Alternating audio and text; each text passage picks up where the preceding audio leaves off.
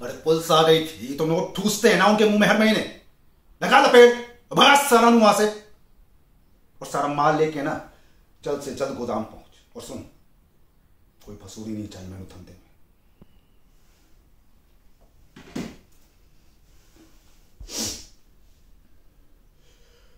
मक्का family का बड़ा बेटा हूँ मैं।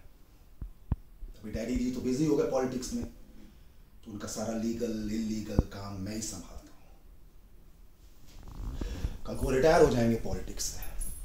तो मैंने वहाँ शिफ्ट हो जाना। है? हाँ परिवार ऐसे ही चलता है, वीर इतना नाम कमाया, पैसा कमाया तब तबा बनाया। यूँ थोड़ी ना जाने देंगे। हम्म? लेकिन वो राजवीर है।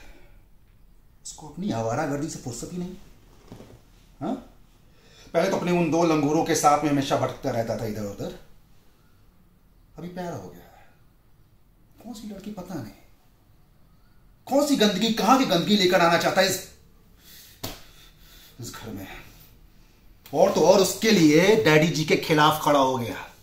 ओए, बंदूक उठा दी यार उन पर मैनू मेरा चुप नहीं रहना है। जे घर डैडी जी की वजह से और जो राजवीर की वजह से डैडी जी को कुछ हो गया ना, गोली मार दूँगा मैं।